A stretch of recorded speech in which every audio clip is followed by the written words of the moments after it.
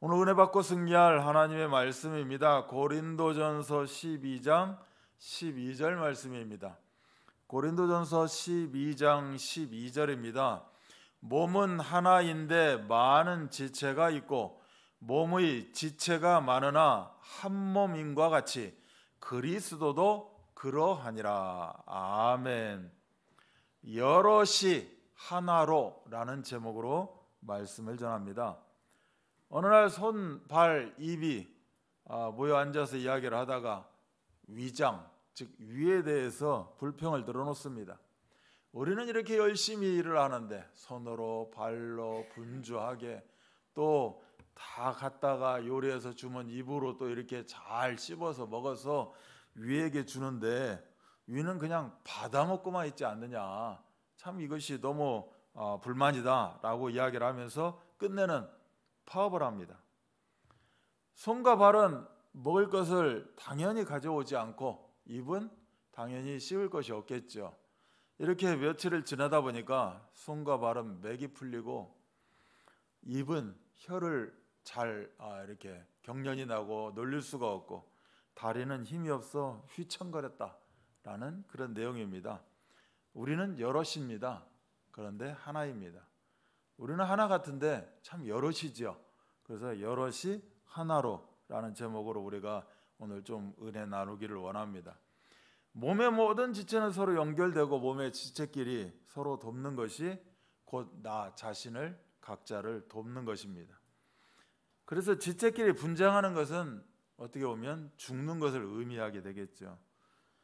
몸에 붙어 있는 데 서로 싫다는 것입니다. 그럼 끝내는 분열되고 몸에 이상이 오고 어, 죽음으로 가는 길일 것입니다. 이처럼 서로 다른 지체는 조화를 이루어야 되고 참 조화 가운데 행복이 있지 않나 봅니다. 사람이 이렇게 자주 모이고 어떻게 보면 횡적으로 대화가 활발해야 민주주의도 발전한다라고 합니다. 이것을 보고 사회 자본이다라고 이야기를 합니다. 경제 발전에도 이 자본이 필수적인 것이처럼 민주주의 발전에도 사회 자본이 아, 참 충족해야 된다. 곧 인간들의 어떤 결속, 연대 이런 것이 민주주의 발전에 또 크게 기여한다라고 이야기를 합니다. 이처럼 협력하는 마음, 남을 존중하는 마음을 배우지 못하고 우리가 세계화를 이야기할 수 없고 민주주의를 말할 수 없다라는 겁니다. 교회 안에서도 성도들 간에 조화가 필요하고 아, 우리 성도들은 모두가 그리스도의 몸된 지체들이기 때문에 모든 성도는 그리스도 몸의 각 아, 부분일 것입니다. 그러므로 다양한 이러한 개성들을 가진 아, 성도들 간에 참 포럼도 많이 일어나야 되는 거고 이런 조화도 많이 이루어질 줄 믿습니다. 하나님은 이처럼 성도들에게 그리스도 몸이 원활하게 작동할 수 있도록 각각 필요한 은사를 주셨습니다. 그래서 참 다양하죠. 여러 은사들이 있지만 실질적인 것은 하나입니다. 그 은사대로 활동하면 그리스도의 몸으로서 교회는 아, 하나님의 영광을 어떻게 보면 어, 드러내지 못할 수도 있습니다. 그러나 이 은사를 잘 활용하지 않고 놓아두면 교회는 세상에서 하나님의 영광을 드러내지 못하지만 그 은사를 잘 활용하고 활동하면 그리스도의 몸이 어떻게 보면 단단해지고 또 세상을 변화시킬 수 있는 그러한 참으로 역동적인 지금의 우리 예언교의 모습이지 않나라고 생각을 합니다. 그래서 이 교회는 생명적 역동이 흘러넘쳐야 된다라고 어, 말씀을 통해서 받았습니다.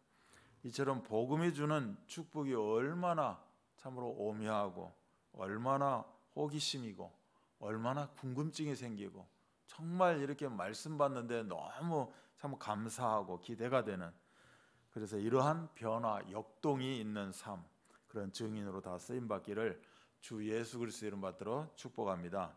첫 번째입니다. 여럿이 하나가 되는 유일한 플랫폼 즉 교회를 이야기합니다. 에베소서에 보면 교회에 대해서 잘 이렇게 정의 내려져 있고 기록이 되어 있습니다. 에베소 1장에 보면 교회는 그의 몸이니 만물 안에서 만물을 충만하게 하시는 이의 충만함이라라고 말씀되어 있고 하나님이 영원부터 교회를 통하여 하나님 나라를 이렇게 실현시키시려고 늘 예정하고 작정하셨다는 것이 예배서 3장 10절로 11절 말씀입니다. 에베소 3장 20절로 21절은 우리가 구하거나 생각하는 모든 것에 더 넘치도록 능히 하실 하나님의 응답 어디에서 일어납니까? 교회에서 일어나는 겁니다. 그리스도 예수 안에서 그리스도 예수를 통하여서 우리에게 주시는 응답이 바로 참으로 엄청난 것이지요. 에베소 4장에 보면 너희가 부르심을 받은 일에 합당하게 행하여 또 평안에 매는 줄로 성령이 하나 되게 하신 것을 힘써 지키라. 이 모든 것도 어떻게 보면 교회 안에서 우리가 다 이루어야 가는 것. 또 교회 안에서의 성도들 간의 행복일 겁니다. 그래서 늘 교회를 생각하면 참 어떻게 보면 이렇게 웃음이 나오고 참 행복한 미소가 지어지고 어, 교회를 생각하면 내 몸에 뭔가 이렇게 모든 세포 조직이 참 이렇게 역동적으로 움직여지는 그러한 아, 시간 시간들 되시기 바랍니다. 우리가 교회 이 하나됨을 위해서 그럼 어떻게 해야 될 것인가? 아, 이번 주 말씀을 통해서 우리에게 주셨죠. 참 겸손해야 된다. 인간들이 이렇게 패망하는 이유가 불신자 상태에서 묶여 살 수밖에 없는 이유가 교만입니다. 그래서 모든 겸손이다라고 말씀을 주십니다. 복음은 나의 공로로 주어진 것이 아니고 은혜 중에 은혜입니다. 그렇기 때문에 우리는 겸손할 수밖에 없는 겁니다. 창세기 3장 문제가 네가 하나님이 하나님처럼 될 것이다. 즉 하나님과의 관계가 깨어지고 박탈당하는 비극 바로 어, 겸손 아닌 어, 교만으로 시작되는 겁니다. 그래서 베드로전서 5장 5절은 서로 겸손으로 허리를 동이라라고 이야기합니다. 요한복음 13장은 대야에 물을 떠서 제자들의 발을 씻기고 또 수건으로 닦아 주시는 그 예수님의 참으로 절대 겸손을 우리가 체험하게 됩니다. 이처럼 성경에서 말하는 이 겸손은 그리스도와 함께 십자가에 못 박힌 그래서 이제는 내가 사는 것이 아니고 그리스도가 사는 그러한 내가 없어지는 자기가 없어지는 이것이 바로 모든 겸손일 것입니다. 우리는 온유에 대해서 또 말씀을 받았습니다. 내 안에 힘과 열정의 말 고삐를 내가 쥐고 있는 것이 아니라 예수 그리스도에 의해서 통제되는 것 이걸 보고 우리는 온유다라고 이야기합니다. 나폴레옹은 나는 무력으로 세계를 정복하려고 했지만 아무것도 얻지 못했지만 예수 그리스도는 사랑과 온유함으로 세상을 정복했다라고 아, 표현하고 있습니다. 이처럼 온유한 자가 땅을 기업으로 얻는 그런 응답을 우리가 오늘도 참 충만히 누리시기를 바랍니다. 올해 참음에 대해서 말씀 주셨습니다. 우리가 회개하고 어, 구원받은 것은 하나님의 오래 참으심이 있었기 때문에 가능한 것이다. 그러면 나 또한 전도자의 삶을 살기 위해서는 오래 참음은 필수적이다라고 이야기합니다. 나의 오래 참음을 통하여서 십자가의 그 어떻게 보면 고난을 통하여서 한 영혼이 또 구원을 받게 된다는 사실입니다. 오래 참고 인내하는 사람은 먼저 그리스도의 오래 참으심을 경험하고 또한 그 어, 오래 참으심에 우리가 감격하고 살아가는 사람들입니다. 그래서 로마서 1장 16절도 복음은 모든 믿는 자를 구원하시는 하나님의 능력이다. 바로 예수 그리스도의 오래 참으심을 통하여서 하나님의 능력이 이렇게 우리와 함께하는 줄 믿습니다. 그렇다면 나에게 주어진 이 하나님의 능력, 이 권세가 어떻게 하면 그대로 다 표출될 수 있을 것인가? 바로 우리의 오래 참음이 꼭 필수적일 것입니다. 사랑 가운데서 서로 용납하라라고 말씀하십니다. 왜 그렇습니까? 복음은 모든 것이기 때문에 그렇습니다. 복음 가진 자는 모든 것을 가졌기 때문에 넉넉할 수밖에 없고 용납할 수밖에 없고 여유 있는 삶을 살 수밖에 없다는 겁니다. 내가 없기 때문에 뭔가 부족하기 때문에 뭔가 능력이 어, 약하기 때문에 우리는 어떻게 보면 참 이렇게 어, 평화롭지 못하고 어, 평안하지 못하고 용납하지 못하는 것 같습니다. 그래서 요셉은 이 원수보다 못한 이런 영들을 어떻게 했습니까? 용납했습니다. 용납이 뭡니까? 이해하는 겁니다. 어떻게 보면 수용하는 것이고 초월하는 것입니다. 이것이 바로 사랑 가운데서 서로 용납하는 그 핵심일 겁니다. 오늘도 이해가 넘치시고 모든 것 수용할 수 있고 초월할 수 있는 이런 응답들 누리시기 바랍니다. 평안에 매는 줄로 성령이 하나 되게 하신 것을 힘써 지키는 것 굉장히 중요한 거겠죠. 성령이 하나 되게 하셨다는 겁니다. 이미 과거에 완료된 사건입니다. 지금 평안하게 하시는 것이 아니라 우리는 이미 성령이 하나 되게 하셨고 성령이 평안하게 하신 겁니다. 그래서 이미 우리로 하나 되게 하셨다는 사실입니다. 그래서 나중에 후회하는 그런 사건이 있는 것이 아니라 기회 지나기 전에 오늘 지금 이 응답들을 다 누리시기 바랍니다. 그래서 여럿이 하나가 되는 유일한 플랫폼 이 교회 안에서 참으로 역동적인 삶을 계속해서 누리는 우리 행복한 전도자들 다 되시기를 주 예수 그리스도 이름 받들어 축원합니다. 두 번째는 여럿이 하나가 되는 유일한 복음입니다. 성경은 처음부터 끝까지 뭐에 대해서 그렇게 강조를 하느냐? 유일성에 대해서 강조를 합니다. 태초에 하나님이 천지를 창조하시니라. 제가 95년도에 강서롭게 왔을 때 처음으로 저에게 질문 던진 게 이 창세기 1장 1절입니다. 청년 중에 하나가 이 말씀을 믿느냐라고 저한테 물어봤었습니다. 어, 뭐라고 했었을까요? 웃었죠. 그 웃음 뒤에는 뭐가 있었을까? 또 그 청년 어떻게 생각했을지 모르지만 태초에 하나님이 천지를 창조하셨습니다. 이것보다 유일성이 어디 있을까? 최고의 유일성일 것입니다. 여기로부터 모든 성경은 시작이 되어진 것이고 우리의 응답도 시작이 되어질 것입니다. 너는 나 외에는 다른 신들을 내게 있게 말지라라고 이야기합니다. 이스라엘에 들어라 우리 하나님 여호와는 오직 하나인 여호와시니 너는 마음을 다하고 성품을 다하고 힘을 다하여 내 하나님 여호와를 사랑하라라고 말씀합니다. 성경은 이렇게 모든 것이 다 오직이요 유일성에 대해서 이야기를 합니다. 이 여호와 하나님만 유일하시기 때문에 하나님이 우리에게 요구한다. 우리에게 구하는 것은 무엇인가? 오직밖에 없습니다. 우리가 오직 되어지면 유일성은 당연히 따라올 수밖에 없는 것이다. 오직 되어지면 유일성은 응답으로 따라오게 된다라는 사실입니다. 그 대신 오직이 안 되면 당연히 하나님은 역사하지 않으시겠죠. 그래서 우리가 오직을 회복할 때 유일하신 하나님께서 재창조의 역사를 약속하시고 실천하시는 것입니다.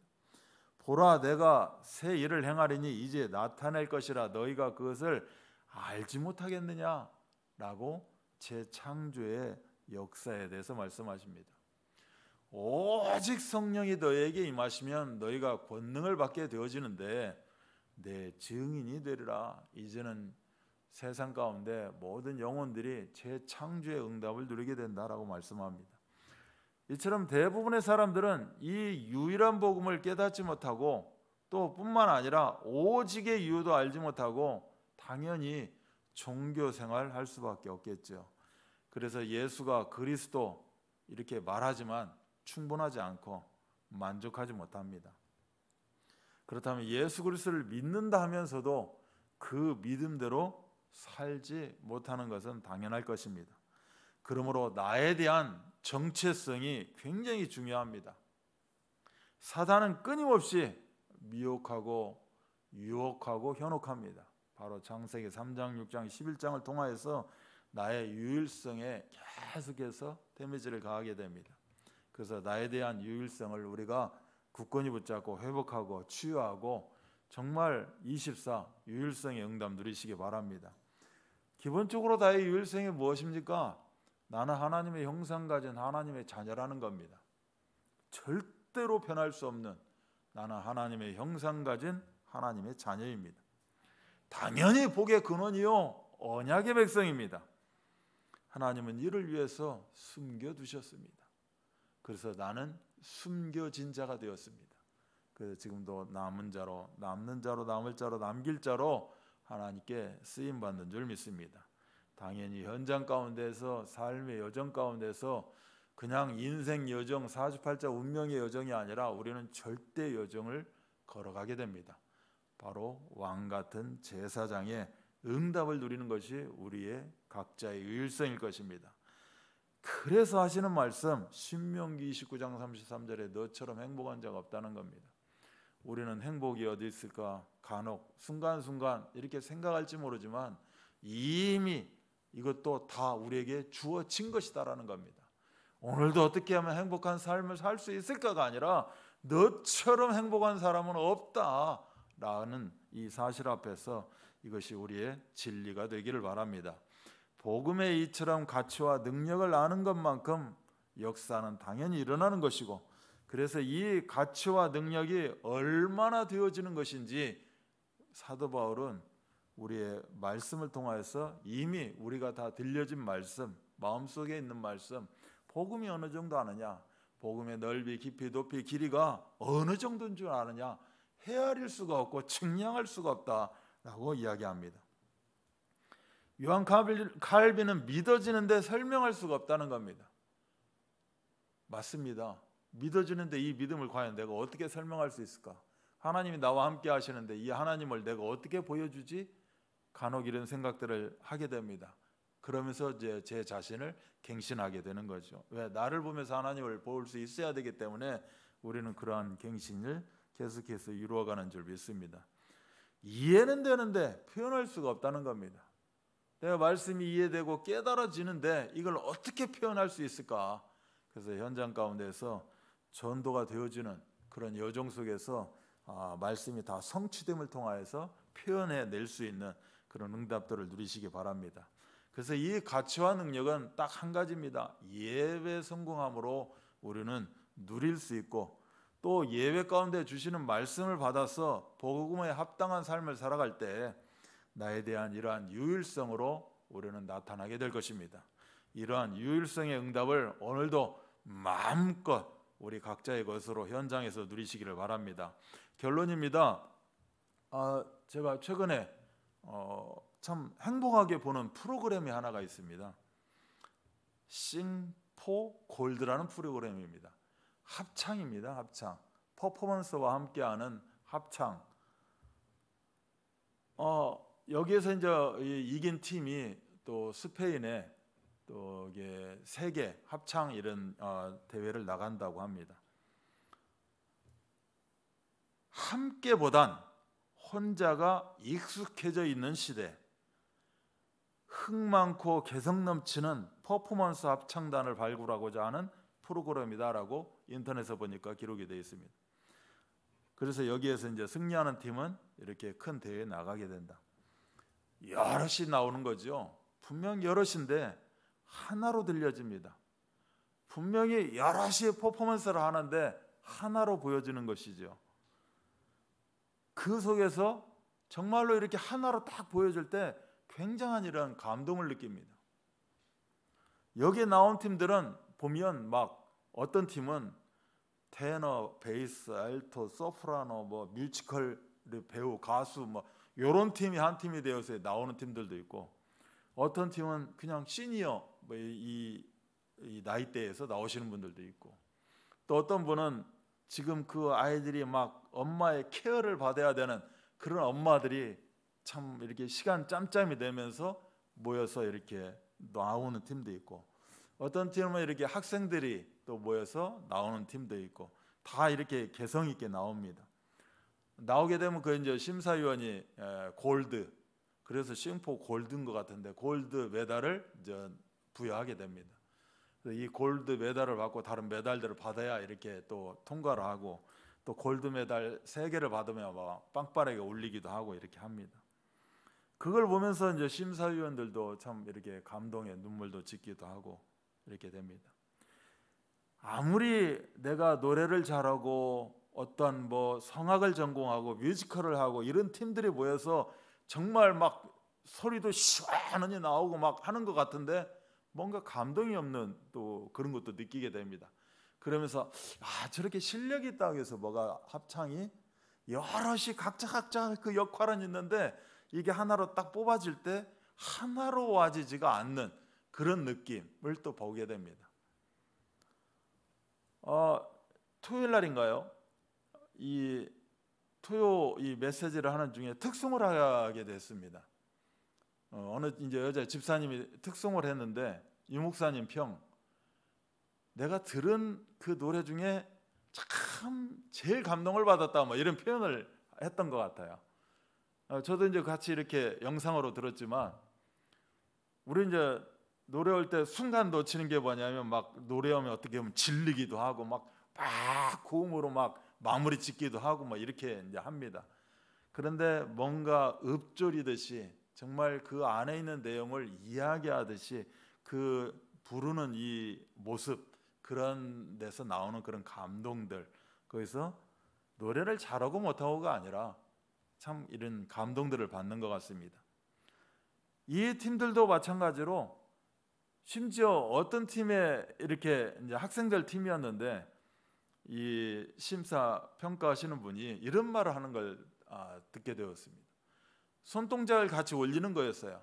이거는 뭐 그냥 손동작 같이 아, 올릴 수 있겠죠. 그런데 여기에 단순히 손동작이 아니라 여기에도 감정선이 일치되어 있다라는 겁니다. 참 말을 잘해요. 보면 손동작을 같이 이렇게 아 그냥 같이 이렇게 참 어울리게 잘 하는구나가 아니라 여기에도 감정선이 딱 맞았다는 겁니다. 서로 간에. 그러면 이것은 어디서 나올까? 우리가 여럿이 하나라는 이 주제를 가지고 이 공동체를 가지고 유일성이지만 다양성이요 다양성이지만 유일성인데 이것이 과연 어떻게 맞춰질까? 우리가 막 뭔가를 마스 게임을 하고 연습을 하고 막 해서 서로 하나를 맞춰줬을 때 그게 하나가 되어질까?라고 본다면 우리는 오직 그리스도로 맞춰지지 않으면 안 된다라는 생각을 하게 됐습니다. 우리가 강단으로 하나가 되어지는 것이지 강단으로 언약으로 하나가 되어지는 겁니다. 우리가 밤새도록 뭔가 열심히 해서 하나가 되는 것이 감정선이 맞춰지는 게 아니라 우리는 언약이 각자 다 붙잡았을 때 나도 모르게 감정선이 맞춰지게 돼 있다라는 것을 생각을 합니다.